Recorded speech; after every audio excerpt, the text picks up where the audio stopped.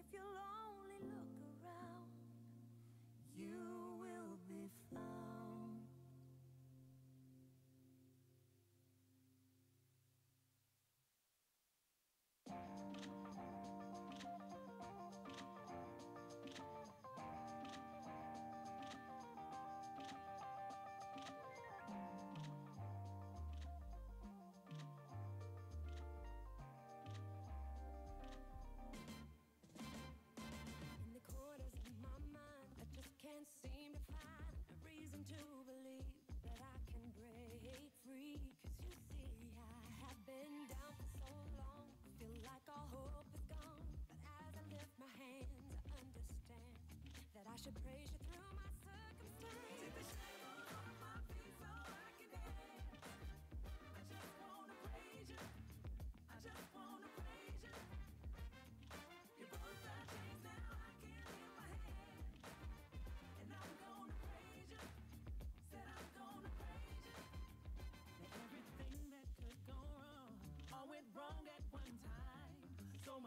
Take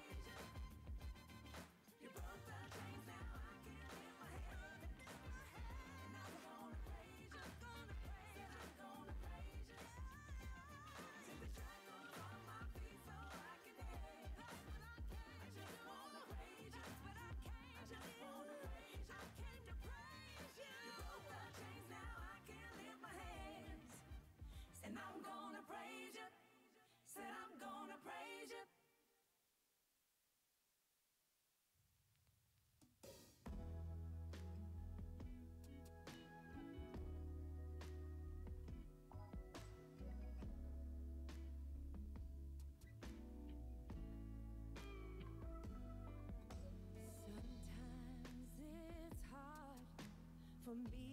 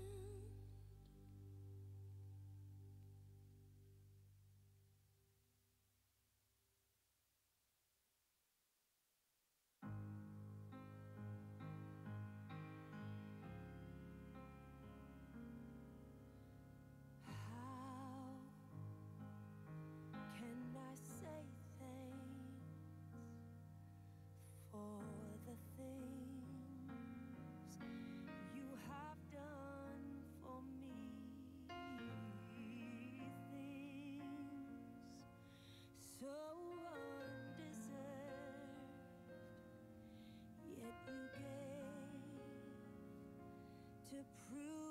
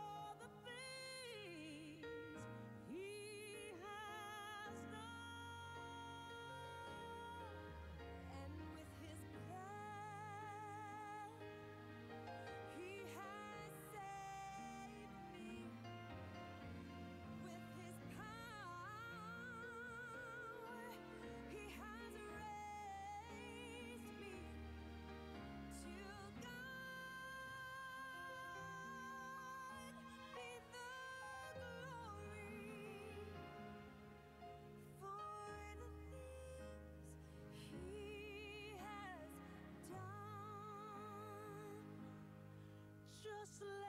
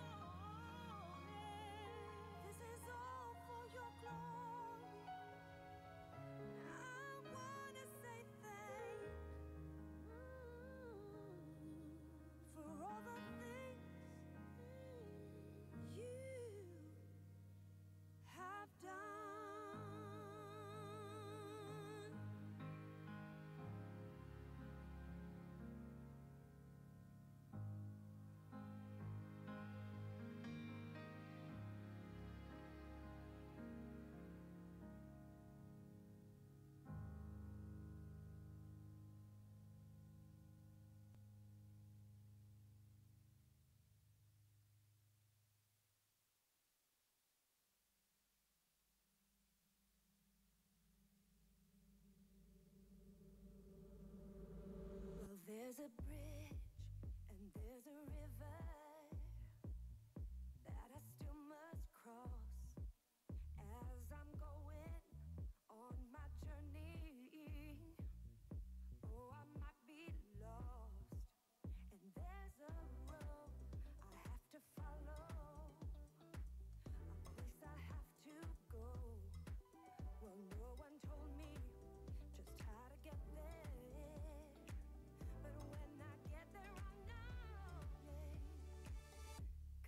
taking it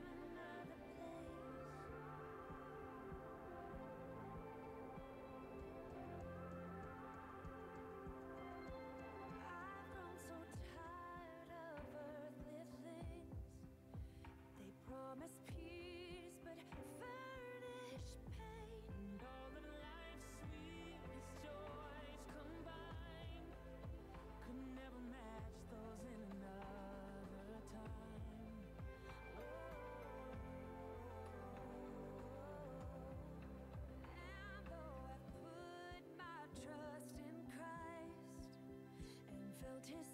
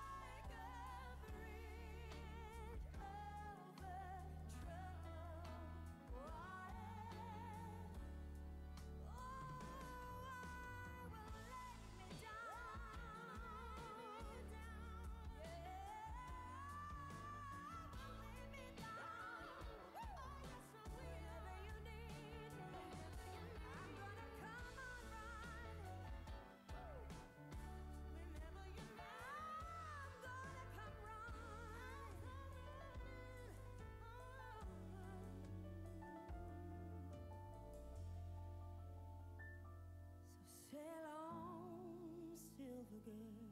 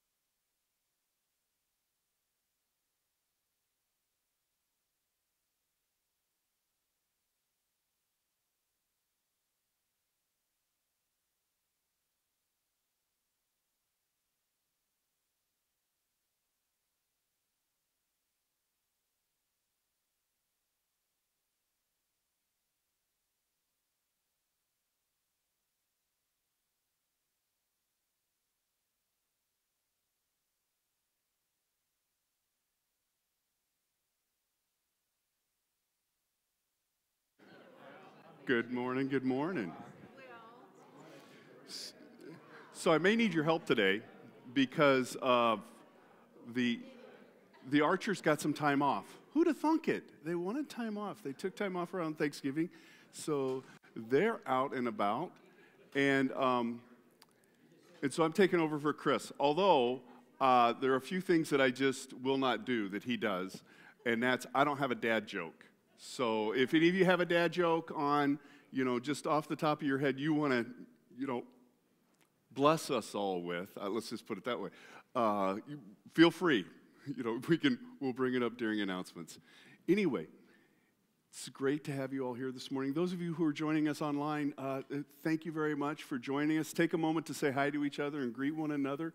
Uh, let's, um, let's begin our service. As we know, lo- love is God, and all the time, love is God. Yeah. Let's light our candle.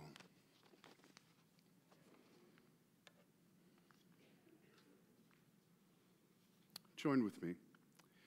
May the Christ in us see the Christ among us.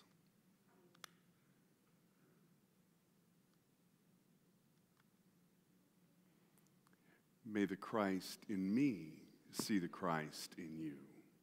Amen. We've um, a lot of stuff happening this week. Uh, I didn't have a chance to check in before. Anybody have announcements that they uh, want to come up and give? Ah, Christy's coming. Well, Christy's coming up. Let me. This is not. You know that Rachel Connor, Rachel Jensen, Rachel and Connor Jensen. Rachel got up last week to talk about that we're going to be doing some decor. We're going to Christmas decorate Wednesday, um, about five between five and seven or so my experience around here has been is one of the most difficult things to kind of that's the block in making progress is getting the big tree put up okay And the big thing with the big tree is not so much putting it up, but then have you ever noticed that if you don't take time to kind of even things out on the ends of the leaves after work or, or the branches, they just, it looks ugly? If any of you would have time on Tuesday to come up and just kind of help make the outside of the tree look better, if you could come in the afternoon, if you can come, tell me when you can come. Because what we'll do is we'll get the tree out and we'll just get it set up so that we can get at it and get it fluffed up. Because if it's standing when everybody shows up on Wednesday, then all the decorating, everybody's got something to do. Uh, but if we don't do that ahead of time, then, it, then we just have to wait. Anyway, Christy, come on up. Tell us what you're doing. I can hold the mic? I can hold what? Chris's twin. I can hold Chris's twin. Ah, yes. You'll have to explain that. So, starting Thursday night for Advent, we are going to do The Heart That Grew Three Sizes. And it's kind of related to the Grinch. Um, you don't have to do much in advance. You can watch any of the movie versions. There's the original from 1966, 2018, 2000, or not 2018, 2008 maybe? I don't know. Anyway, um, or just read Dr. Seuss's book. Um, and some people have asked, how does the Grinch relate to Advent? And so I just wrote down some of the categories. Um, week one, it's when everything is wrong. So the question is, and I'm not a winter person, so right now, is it really the most wonderful time of the year? Um, green with envy and unmet expectations. Like we thought Jesus was going to be born in a palace, and he was born in a manger. So, and when there is no peace. So that's our first week.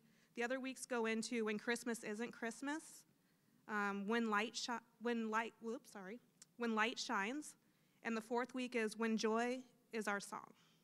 And so those are some of the things that we'll be discussing throughout the four weeks. And it's in person here at the church at six o'clock on Thursdays, or Zoom, which you can find on the weekly emails. Thanks. Yeah. Great. Look forward to it. Thank you very, very much. Oh, I got to give you. wanna keep it? Uh, uh, uh. he is gone. I mean, it would remind us all of him, you know. I know, I know, I know. Other announcements that other people know. Yeah, come.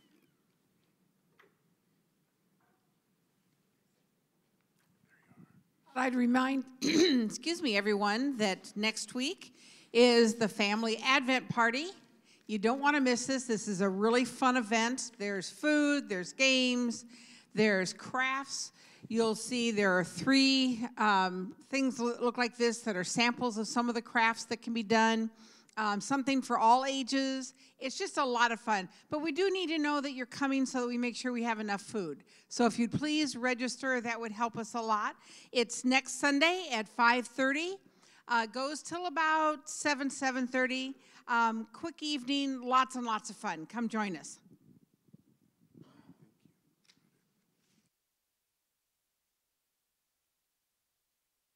before I go through my list. Let me just add some. Uh, again, the little flyers are on your uh, tables for it's United Methodist Student Day this Sunday. We're taking a special offering that the United Methodist Church gathers and then uh, shares within the United States and around the world um, to help make sure that folk get good educations. Many of the people who are educated get to go back and be real differ- difference makers in the countries that they have come from. Part of our investment as people of faith into the rest of the world is to make sure that people have great education so that they can uh, be leaders from in, you know, in their communities um, and not just, not just come and stay here. Um, we're still collecting gift cards for the CDC teachers. We're still collecting um, gifts that will be shared with the staff at Christmas time. Stewardship. Some, we're going to, many of you turned in um, estimate of giving cards last week. Thank you very much. We're going to continue to collect those up um, coming along. We are at this time right at right at $100,000 in new giving. I think it's 99,000 and change. Thank you very, very much. Now we need to, um, we're going to chase down the other. If you, if you usually don't give an estimate of giving card, we might be a little more um, encouraging this year than other years just because it's, uh, next year in particular, we need to just make sure that we're making wise decisions. So uh, we'll, be, we'll be chasing those down as things go on. Um, the women's lunch, you know, the women's uh, brunch that we do every year, that's going to be on December 9th. I don't have the date in mind. Does anybody know the time? Yeah, Gail. Here, Gail, just let me, let me bring you the mic. Oh, well, but you're, you're going to be helping make it happen. All right. Uh, Our women's luncheon this year for Christmas is going to be December 9th, Saturday at 11:30. And we're going to do something a little different this year, where the church is going to provide several kinds of soup. And then um, our congregation will bring salads to share. And our program is going to be wonderful. It is called the Chris, our favorite Christmas carols and their history. The bell choir will be playing, and um, it's going to be a wonderful way to kick off the Advent season.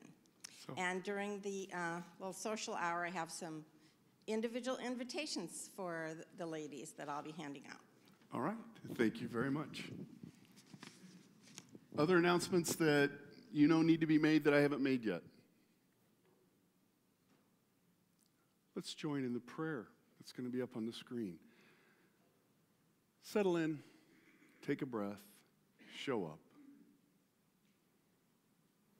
Love, whom I call God, you welcome me into this time of worship and remind me that this world, this place, and this moment belong to you. This journey I do not always want or understand. You asked me to feed the hungry, clothe the naked, and comfort those who mourn. O God, I ask that as I learn and grow and attempt to serve you and others, I will be given the grace to love you and my neighbor in all that I do. I pray that at the end of each day, I can say that those to whom love is a stranger will have found in me a generous friend. Amen. Amen. Hey, will anybody help run mics this morning? Anybody want to lend me your energy?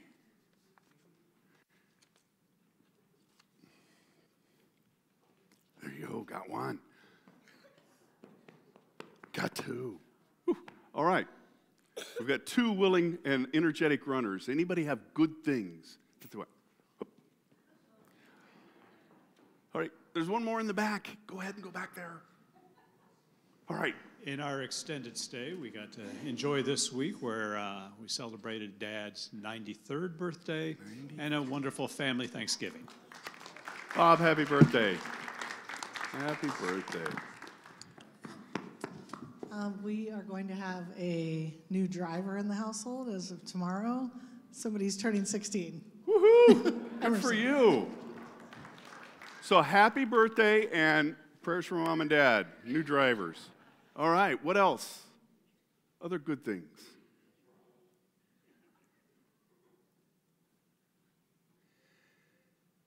Anything not so good that we can that we can grab onto and hold for each other this week?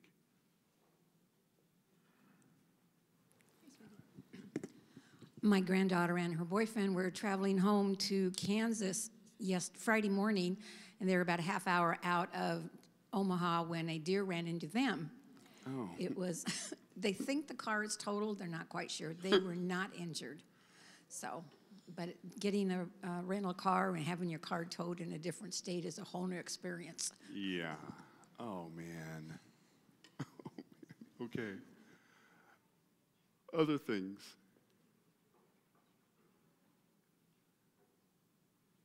All right, guys, I'll take them. Thank you. Settle back into your hard chairs. Find your spot. We're going to do it a bit different. Um, settle in. I'm going to give you 10 breaths to just be quiet. Okay? I'll do the breathing. Um, if, if you get worried, uh, I might have lost count. So, you know, we'll, we'll just, we're just going to sit for a bit and soak in some silence. Pray with me.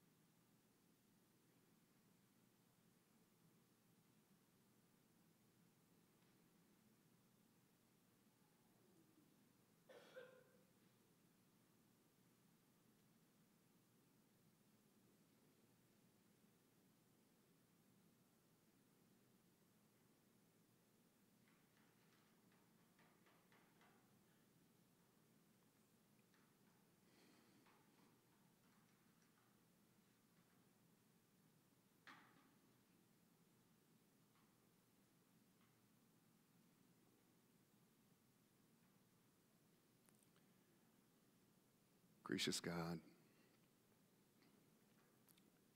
in a world in which we're asked to take in more and more every minute, more and more every few seconds, more and more in the blink of an eye.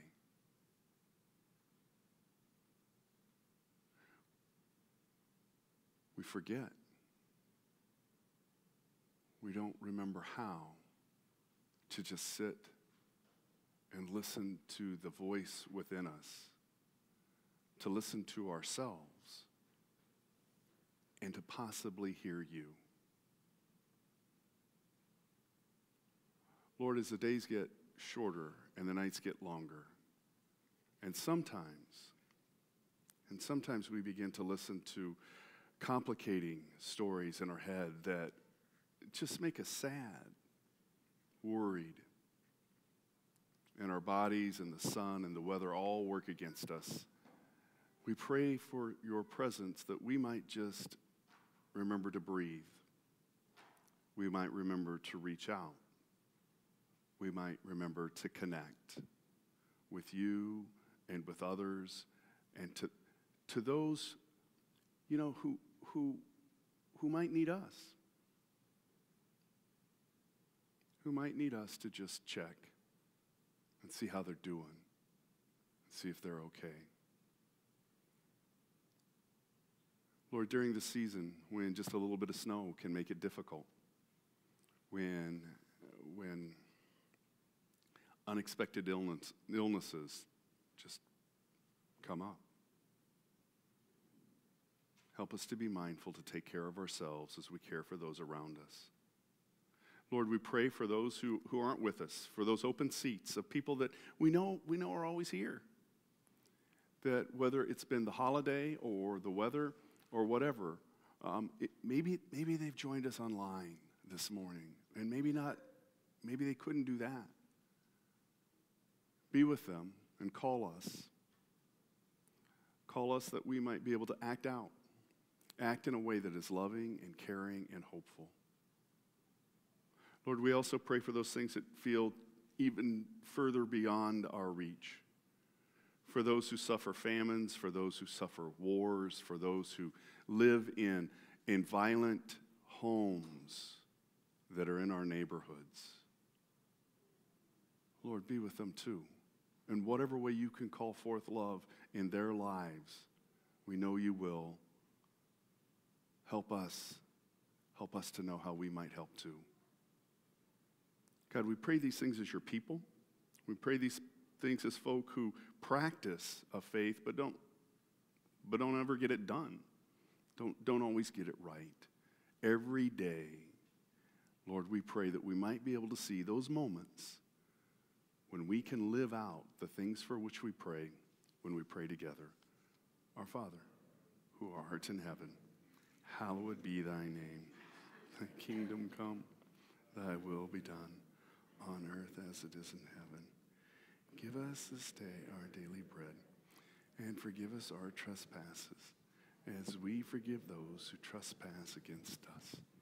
And lead us not into temptation, but deliver us from evil. For thine is the kingdom, and the power, and the glory forever.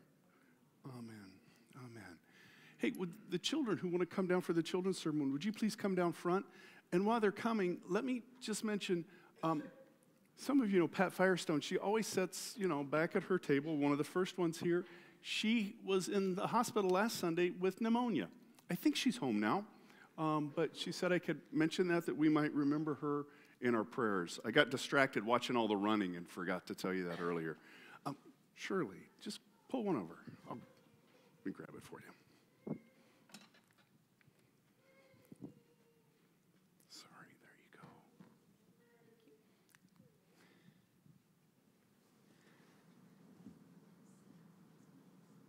go. Good morning, everyone. How are you?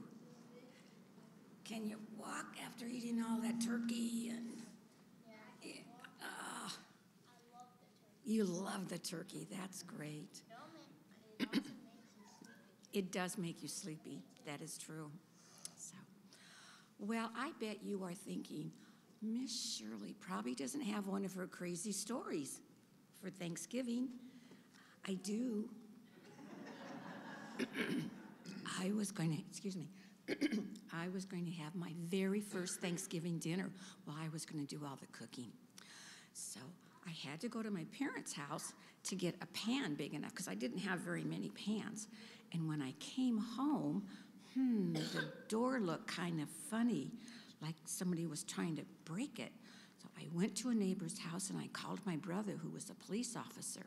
And he came over, went in the house. He says, Yep, somebody had broken into the house. Called the police, the rest of the police, and they came and they were searching everything and they were being so nice. I don't know why I did this, but I opened the refrigerator. And guess what was not in my refrigerator? The turkey. They stole my turkey. No, my dog didn't eat it. Who steals a turkey from somebody? I know, and they had a couple of cookies too.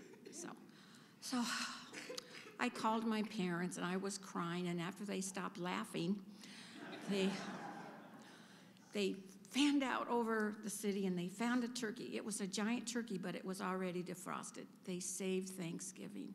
So I was very thankful for my parents and I was very thankful for the police officers who were so nice. And I was thankful for the insurance company who reimbursed me for my butterball self basting. they did call me about that one. But thanks, Thanksgiving is not just one time of the year. We should, we're thankful all the time, aren't we? And we should be, yes. And November is a time that we do remember, especially to be thankful. And my class, with the preschoolers and the kindergartners, we been all, month we were being thankful. So, and we learned. I don't, you guys remember this? Always give thanks to God. Can you do that with me again? Always give thanks to God. Thank you. And let's see, when you go back, we have lots of cards. If you want to pass them out to people as you go back, that would be great. Should we, Brian, are you going to put the, the uh, closing prayer up? God, or not? There we go. Who wants to read it? You want to read it? Help? You want to? Yeah. Okay. do you remember or do you need to read it? No. I don't Okay. remember. Okay, take it away. God, thank you for your great love. Help me, dearest, to hear your words. Help my mouth to speak your kindness. Help my hands to serve my neighbors. Help me to trust you always. God, thank you for your great love.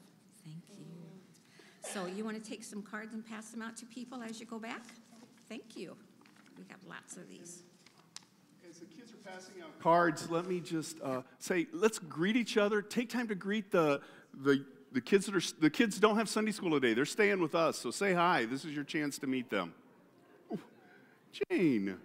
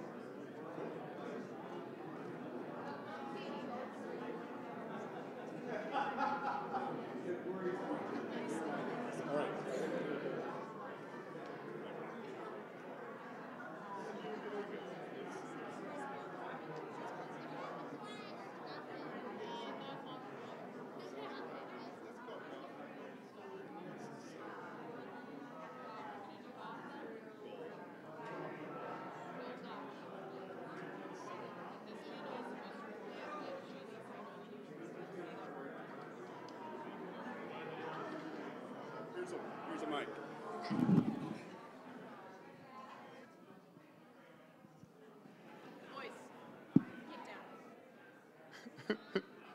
All right, folk, You've met all the kids. You've said hi. Hey, I got to thank James for uh, stepping up and reading. Are you going to hang out up here, Thomas? All right. All right. Sounds good. James, you got a long one today. Uh, sorry, we'll wait until. Not as long as my other one, though. Not as long as your other one. That, that is true. You got uh, half the book the last time. gotcha. Hold the mic close, it'll work better. Okay, today's scripture lesson is from Matthew chapter 27, verses 11 through 14 and 27 through 37. Now Jesus stood before the governor, and the governor asked him, Are you the king of the Jews? Jesus said, You say so. But when he was accused by the chief priests and elders, he did not answer. Then Pilate said to him, Do you not hear how many accusations they make against you? But he gave him no answer, not even to a single charge, so that the governor was greatly amazed. Then the soldiers of the governor took Jesus to the governor's headquarters, and they gathered the whole cohort around him. They stripped him and put a scarlet robe on him. After twisting some thorns into a crown, they put it on his head. They put a reed in his right hand and knelt before him and mocked him, saying, Hail, King of the Jews! They spat on him and took the reed and struck him on the head. After mocking him, they stripped him of the robe and put his own clothes on him. Then they led him away to crucify him. So they went out. They came upon a man from Cyrene named Simon. They complained this man to carry his cross. When they came to a place called Golgotha, which means place of a skull, they offered him wine to drink, mixed with gall. But when he tasted it, he would not drink it. And when they had crucified him, they divided his clothes among themselves by casting lots. Then they sat down there and kept watch over him. Over his head they put the charge against him, which read, This is Jesus, King of the Jews. Hear what the Spirit of the Lord is saying to the church. Thanks be to God.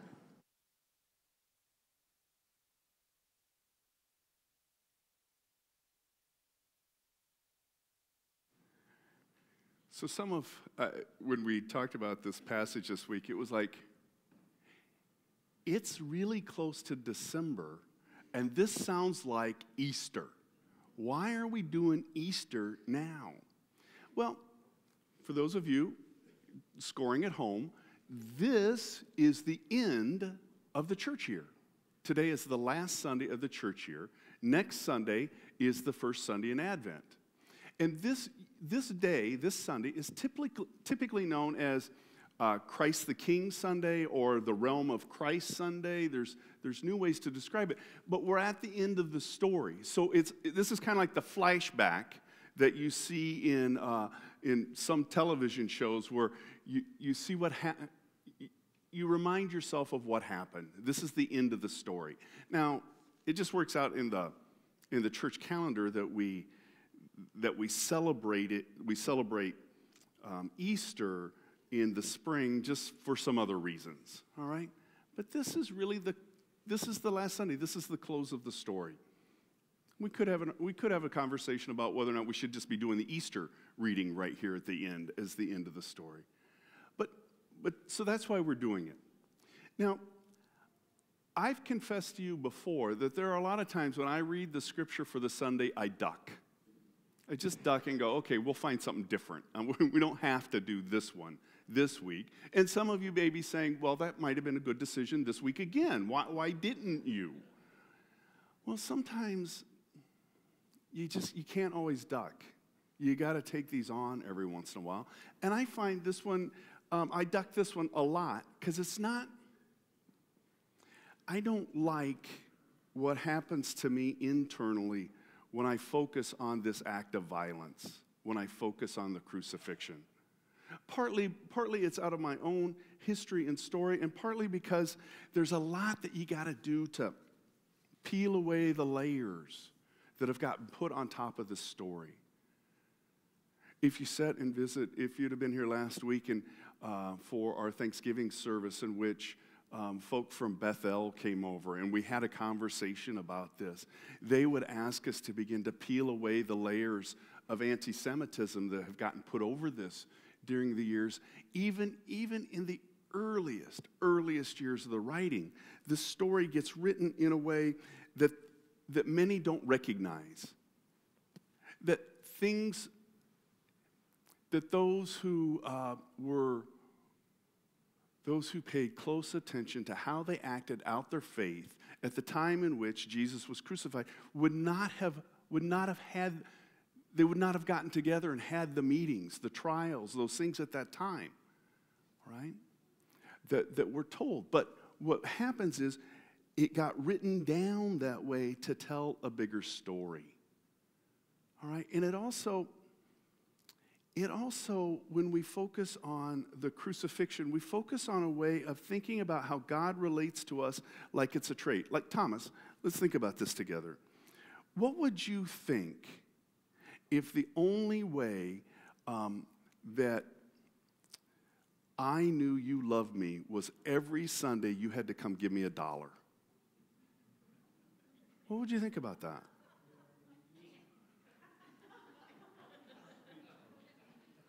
Would you, would you like coming?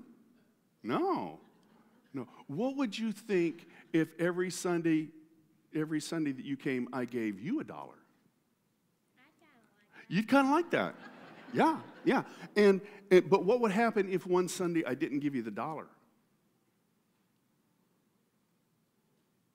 Would you wonder what you did wrong? Yeah, Yeah, I would wonder that too. You know, when, when we begin to get in a relationship where we think something has to be traded in order for somebody else to love us, we set up a relationship that's it's just full of problems and creates dependencies that aren't healthy. So why is it sometimes in our faith we think that the only way God could show us how much God loved us was to kill off God's son? The creator of the universe, the best idea that which we call love had was, I think we'll just have someone die. And yet sometimes that's the way the story ends up getting told from this point forward. Is that was the only way God could show how much God loved us was for, uh, for Jesus to die. Now we're going to come back. We're going to come back to that, but um, we need to work at it a bit. The other thing I wonder about this whole thing is um, I'm going to read you off a list of, of terms that, uh, G- that Jesus, are references to Jesus in Scripture at times. Jesus gets called the bread of life, the good shepherd, the light of the world, the door, the vine, the rock, the cornerstone, the living water, and the bridegroom. That's just a few. It gets longer. Now, as I read this list to you bread of life, good shepherd, light of the world, door, vine, rock, cornerstone, living water, bridegroom, did any of you imagine that somehow um, Jesus owned sheep? Or that Jesus glowed? Or that Jesus had a knob or a knocker? Or that Jesus was made out of a plant? Did any of you imagine that? No. No, no, no. Because uh, you all know that this is just a way to say something more about Jesus than help, it, it helps us understand who he is. But that's not who or what he is, right? So if I say to you, the Son of God, what happens? How, how many of you um, can imagine Jesus in third grade when you're learning about family trees, right? I, that's at least when I think back on my life, when I think of uh, when I learned how to do my first family tree and get all the generations and everything. It was about third grade. So, can, do you imagine Jesus drawing the family tree and going, well, there was, I know they have names in Scripture, I didn't bother finding them, but there was Grandpa and Grandma Mary, you know, and then and then there was these grandpa and grandmas, but there's there's mom, and then there's me, and on this side there's what? What's on this side? Do you think that's the way that works? We've, we've worked in Advent a number of times, and you know, you know that at the time this story was written, it wasn't hard for people to imagine that gods had children. Gods, because there was more than one, had children. And you know that at the time, the Roman leader, Caesar, Caesar was proclaimed to be a god, but you know why? Because when his dad was Caesar, they declared that he was a royal deity, that he was God. And so if he was God, he was a son of God. Guess what will happen when he dies? He'll become one, and the next kid will become a son of God. It was possible. It was possible. And, and people didn't think, you know, uh, it did not become a question that had to be dealt with. But it is for us. It is for us. And part of the reason it is for us is we, we worked, oh, what? Month, six weeks ago, maybe eight weeks. I don't know why I'm looking at Thomas. Thomas wasn't here for the sermon. I don't know if you'll remember. But it wasn't that long ago that we talked about the things God can and can't do. All right? And we talked about it in a way to be able to say that um, to, to deal with uh, evil in the world. If God could reach into the world and stop things, just overcome all the laws of physics and just stop them, why doesn't God do that? Okay, so if we say that God can't reach out and stop that, how can we imagine that God can somehow make Mary pregnant. If God can't do the other, if God could do that, then why can't God just reach in and make cancer stop?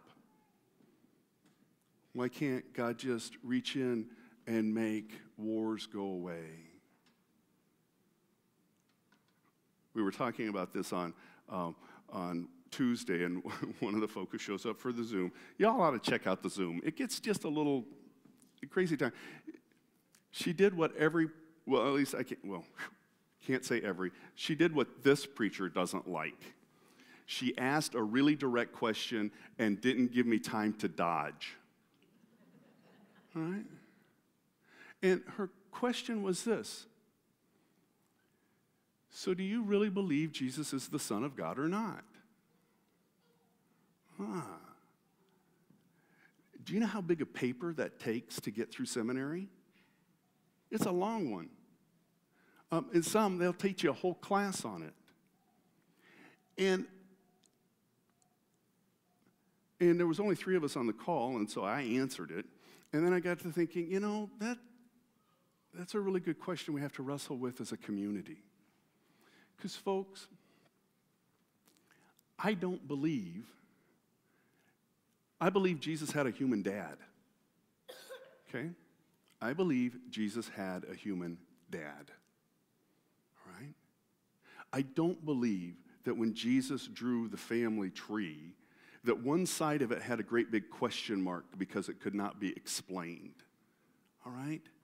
The church later on, and it is the church later on has to declare somehow that Mary is born special. It's called, you know, the Immaculate Conception. Has nothing to do with Jesus, has everything to do with Mary, because we've got to make sure Jesus is born without sin when you're running down that way of thinking theologically. And so, um, so, so Mary's family tree gets messed up. I don't believe that. And I share that with you because I don't want you, I would rather not preach things to you that make you have to imagine stuff and pre- pretend stuff, because I'm going to ask you something much harder than to believe that Jesus didn't have a human dad. I'm going to ask you to believe something much harder than that. Because I'm going to ask you to imagine what would it be like if Jesus were the Son of God, the one that, in, the, the one that inherited all of that which is God, the one that, uh, the way I understand it, helps me, to, helps me to know God more fully than any other thing, any other person, any other idea, is Jesus is the Son of God if God is love all the time. And all the time, God is love. What happens? What happens in our lives when the way Jesus lived his was the way that we can most closely, most fully live a life of love? And we find today, right, Thomas? You just heard James read it. We find today that he is called up. He's called up in front of Pilate, who has the ability to have him killed, and accuses him of many things. And in that moment, knowing that there's a lot of options, Jesus remains silent to be most loving. That Jesus stands there and accepts the crucifixion, accepts the embarrassment and the pain and the sacrifice of crucifixion. In order for all of us to understand that in no part of our lives will we go through something where God won't be with us to the end. Jesus isn't so sure when he's hanging on the cross. You know those parts of the story. But that act of love,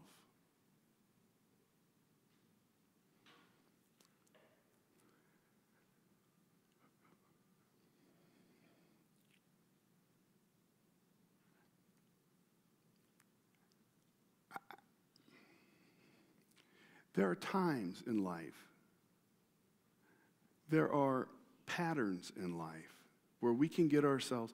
I, you all, it's not news. I hate November. I hate December. I, I love January because the sun comes back.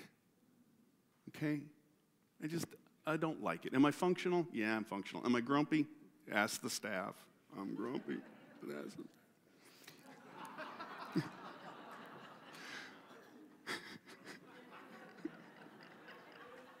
Thank you, Roger. Glad, glad to, glad to bring. and yet, God loves us through that time. Folk, in this, in your faith, let me, well, let me just tell you what I have to do. I have to unlearn a lot of stuff that people told me I had to hang on to in order to stay relate, order to stay in close relationship to God.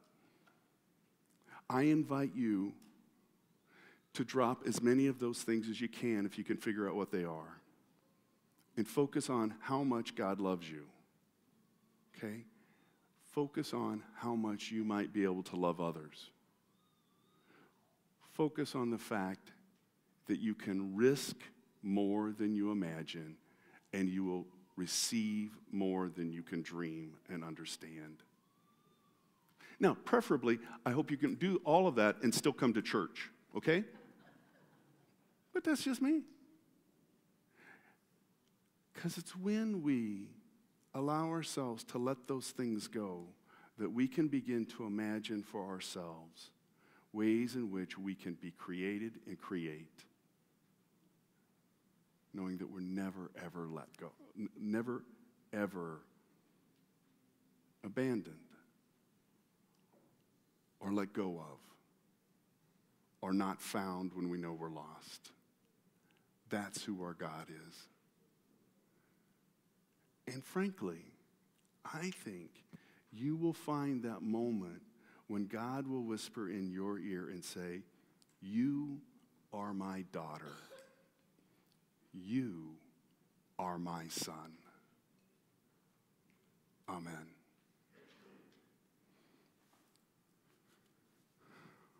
All right. Well, I'm not so grumpy that I won't let you just sit for a bit. Hey, James, can I have my bulletin back? Sit back in your chair, take three breaths. Thank you.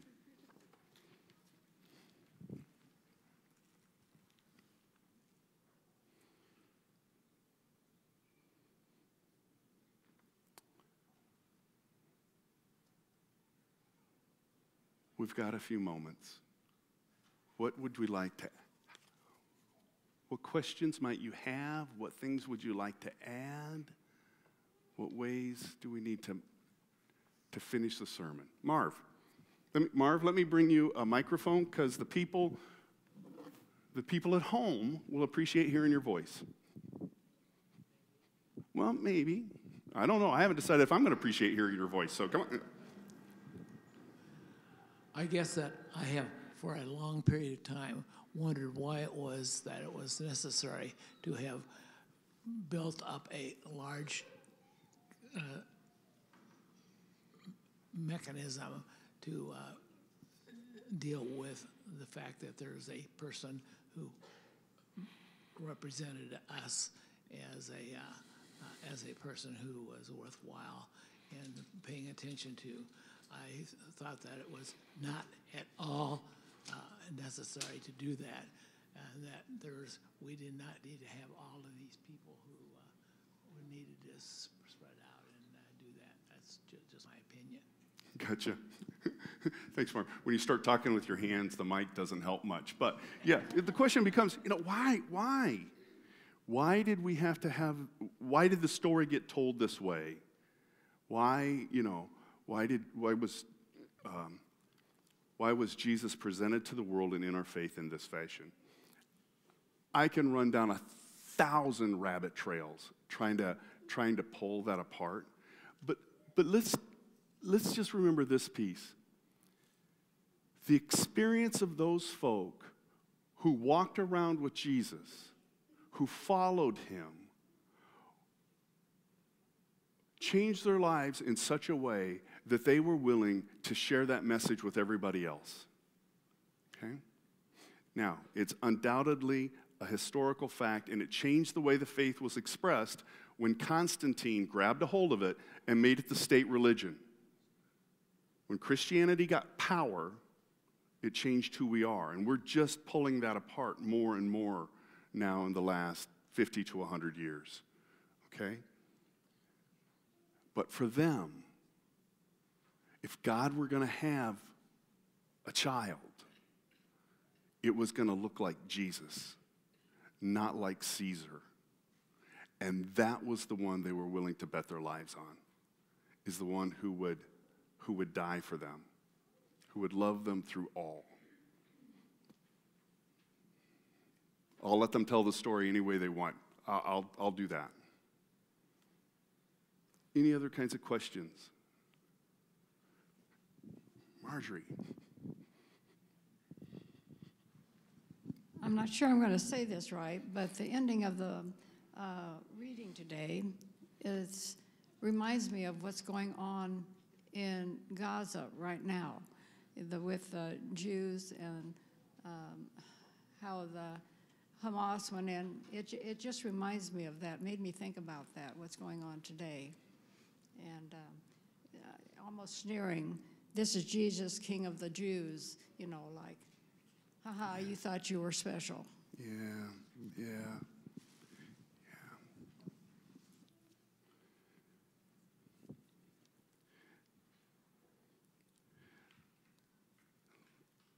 Let's just remember together that there are, that Hamas is not the Palestinian people. Hamas is a terrorist organization. And what they did to the people of Israel was horrific beyond words and imagination. All right? And however we can be in ministry to the people of Israel and what they're going through, we should do. And whatever way we can be in, in ministry and relationship for the people in Palestine who are suffering because of what's going on, we should be doing. Um, politics are for a different place to pull that all apart. I'm not smart enough to help you learn new things in the midst of all of that. But um, terrorism is terrorism. Other questions, other things? Brian, yeah.